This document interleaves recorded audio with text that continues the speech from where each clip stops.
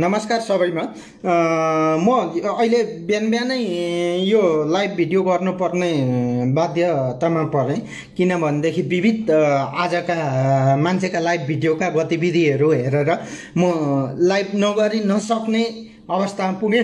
विशेष त कसको भिडियो हेरेँ भन्दाखेरि ती न्याउरे फ्याउरे ढ्याउरेहरू जो अशिक्षित आफैमा गवार छन् ज्ञानेन्द्र साईका भरौटेहरू तिनीहरूको कुरा सुन्दाखेरि मलाई लाइभ भिडियो गर्न बाध्य भएँ क्या हुन त अब तिनीहरूले मैले यति भन्दाखेरि मलाई के भन्छन् भने पार्टीको झोले रहेछ भन्छन्। न त म नेकपाको मान्छे हो न त केही हो तर वास्तविकतालाई बोल्ने मान्छे हो म। वास्तविकतासँग डराउँदिनँ। ज्ञानेन्द्र साई भनेको एउटा देशको देशघाती तत्त्व भन्दा हुन्छ। देशघाती तत्त्व। ज्ञानेन्द्र साईले कुनै पनि माध्यम एउटा माध्यम बनाउँछ राम्रो काम गरेको र त्यो माध्यमबाट त्यसले चाहिँ राष्ट्रकै जरा काट्ने काम गरिराखेको हुन्छ। अब त्यो अशिक्षित गवारहरूलाई त त्यो बुझ्ने शक्ति हुँदैन नि त।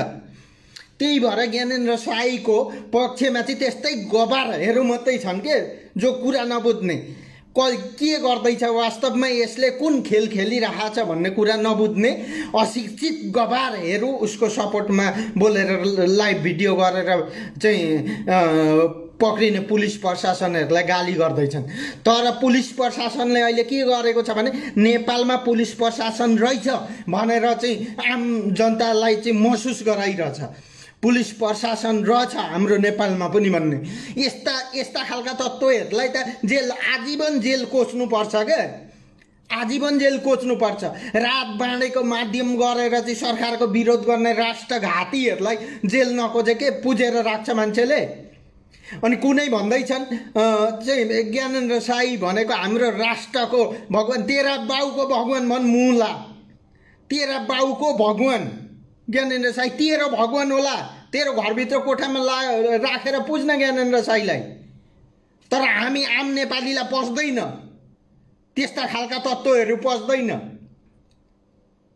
कुनै पनि माध्यम गर्ने बाना गर्ने राम्रो काम गरेको र अनि त्यो कामको सन्दर्भमा अनि राष्ट्रघातका विरोधी शैलीहरू जनाउने त्यस्ता चाहिँ निच मान्छेहरूलाई नपक्रेर कसलाई पक्रिन्छ पुलिसले?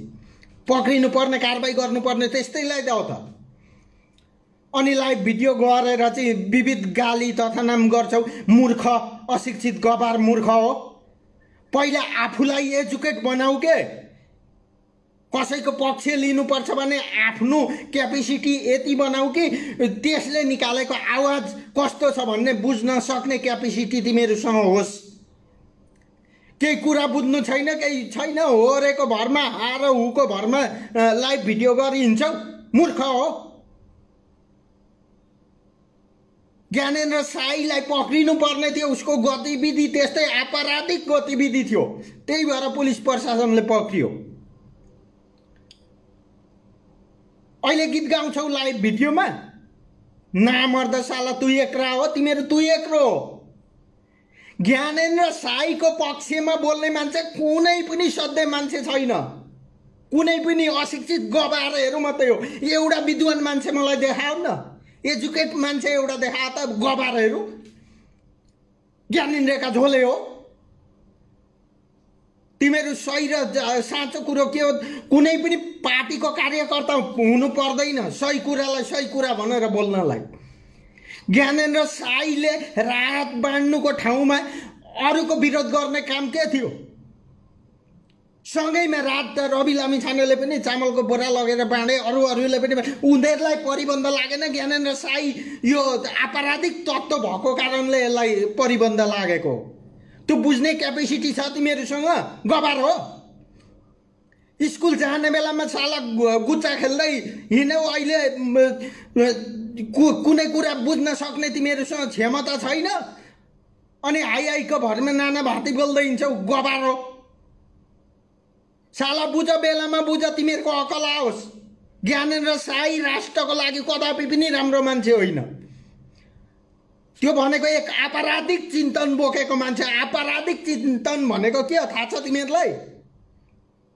धेरै नउफ्रिय लाइभ भिडियोमा धेरै नउफ्रिय। तिमीहरू जस्ता उफ्रिने मान्छे धेरै छन्। ज्ञानेन्द्र साईलाई जेलै हुनुपर्छ। राम्रो मान्छे होइन त्यो त्यसलाई जेल हुनुपर्छ अनिवार्य।